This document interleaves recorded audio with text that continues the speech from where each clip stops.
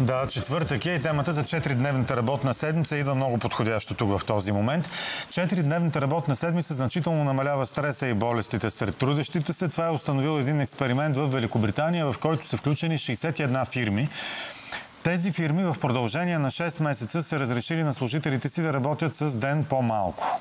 Вярно ли е, че 18 от тези фирми са решили за постоянно да въведат? Това си е сериозен процент от участвалите в експеримента. Обещали са на своите служители, че няма да им намаляват заплатите, ако продължат да вършат същото количество работа. Дали са успели и може ли този експеримент да доведе до масово намаляване на работната седмица в Великобритания? Поли Трифонова включваме сега, нашия кореспондент в Лондон, която ще ни разкаже повече за този експеримент и за резултатите от него. Добро утро, Поли! Добро утро! mind. Добро утро! Много обнадеждаващи резултати. Оказва се, че по време на този експеримент, който е бил на гърба на двойна епидемия от коронавирус и от грип, 65% са намалели болничните в тези фирми, а 57% по-малко са напуснали от тях. Така че всички работодатели и всички участвали в това гледат на този експеримент като на много голямо доказателство за въвеждането на 4-дневна работна седмица. За това се говори много тук след пандемията. Даже беше внесен и специален законопроект в парламента. А, той премина на първо четене в края на миналата година, обаче не събра достатъчно подкрепа, тъй като депутатите се опасяват, че ако сега бъде въведена 4-дневна работна седмица, това допълнително ще осложни ситуацията с а, липсата на кадри. Тук има недостиг на над милион работници, а също и с а, справенето с кризата на, сами, на самия бизнес, тъй като той ще трябва да плаща допълнителна, а, допълнително пари за извареден труд, особено в секторите, където се предвижда а, непрекъснат цикъл на работа, в индустрията, в а, здравеопазването. Но какво показва изследването, което се смята за едно от най-авторитетните, защото е наблюдавано от а, много водещи учени от университети като а, престижния Кембридж и Боснанския университет. Това, което казват те е, че всъщност то 4-дневната работна седмица може да реши проблема с така нареченото професионално прегряване, да даде на хората глътка въздух, да преосмислят начина си на живот, което те вече така или иначе са направили по време на пандемията. Тук около 15% от трудещите си въобще не се върнаха в офисите, предпочетоха да си работят дистанционно.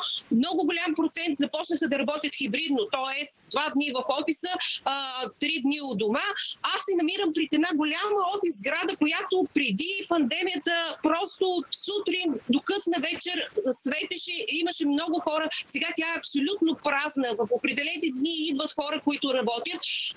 15% от участвалите в експеримента казват, че не биха се върнали на 5 дни работа, дори да им дадат по-голяма заплата. Тоест хората вече са склонни да работят за по-малко пари, но по-малко, защото искат да имат време за а, лични занимания. Много от участвалите в експерименти са започнали курсове и хобита, започнали са да се грижат по-добре за децата си, защото имат повече време за тях. Това, това, което казват обаче учените е, че всъщност трябва да се направи още малко проучване за това как се отразява на производителността това въвеждане на 4-дневна работна седмица, защото сега в момента работниците са били много мотивирани да го направят това нещо. Даже голяма част от нещата, които те са въвели като начин на работа през тези 6 месеца, са били идеи от самите работници. Какво са направили те? Съкратили са времето за съвещания дължината на имейлите. Въвели са така наречените часове за фокусиране. Тоест два часа, примерно сутринта, в които само работят. Не си говорят за лошото време, не си говорят за поскъпването на живота, не си говорят за шефовете, които според повечето подчинени не вземат много винаги правилни решения. Просто само работят.